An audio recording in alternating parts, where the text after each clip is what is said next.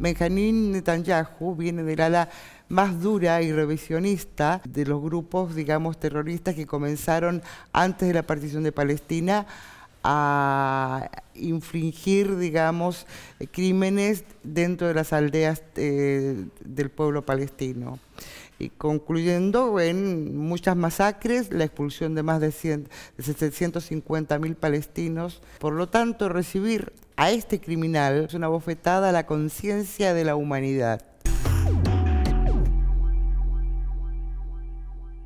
Los argentinos no ganamos nada con esto. El que gana es Israel porque viene a, traernos armas, tecnología de seguridad, tecnología, digamos, para reprimir. De hecho, en la ciudad de Buenos Aires ya hay, digamos, o sea, eh, un vasto sector, digamos, de la, de la policía, educado por los sectores, digamos, de, no sé si de la Mossad o del ejército concretamente, porque, y por el otro lado, eh, tecnología para la represión fundamentalmente.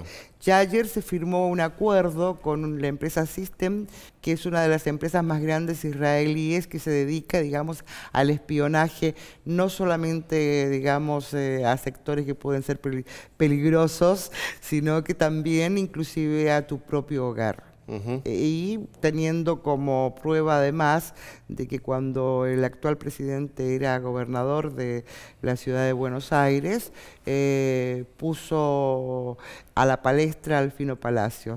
Es decir, estamos hablando de una, situación de mucha gravedad y de mucha preocupación por lo que significa también la represión de la protesta y de las libertades individuales, violando así nuestra propia Constitución Nacional.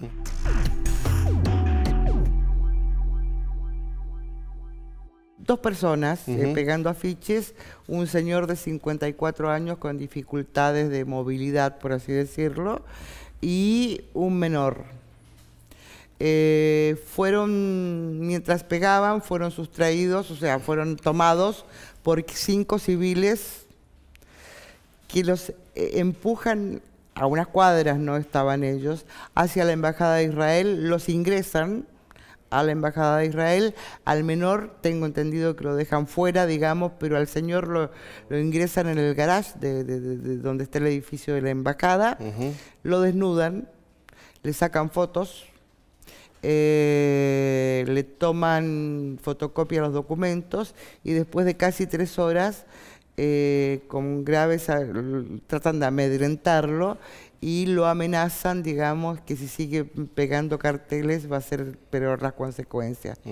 Lo grave de esta situación es la eh, cuando vos entras a una embajada, estás entrando al territorio de esa embajada. Claro, de ese país. De ese país. Por lo tanto, sea, realmente nos preocupa que el gobierno argentino no haya tomado alguna acción y por lo menos haber llamado al embajador frente a esta situación, ¿no? Porque se está inmiscuyendo nuevamente y violando el derecho de, la Constitución Nacional Argentina y está permitiendo, digamos, que un tercer país reaccione como policía en nuestro suelo.